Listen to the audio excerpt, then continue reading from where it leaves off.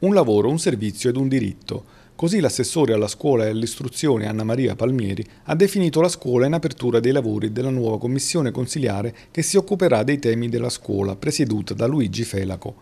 Per comprendere l'importanza del settore basterebbe pronunciare le cifre degli utenti interessati. In 30.000 frequentano le scuole per l'infanzia statali, 5.000 le materne comunali, 2.000 i nidi comunali e con i servizi erogati a vario titolo in favore di tutta la popolazione scolastica si raggiunge il numero di 120.000 piccoli cittadini di cui il comune si occupa ogni anno.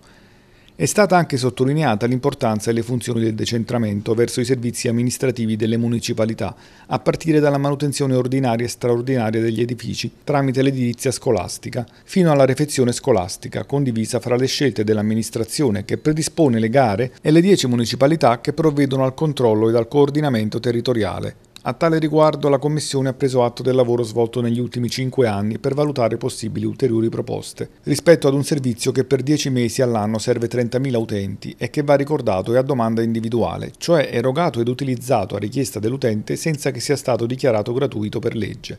Gli obiettivi perseguiti dall'ultima gestione in particolare sono stati due.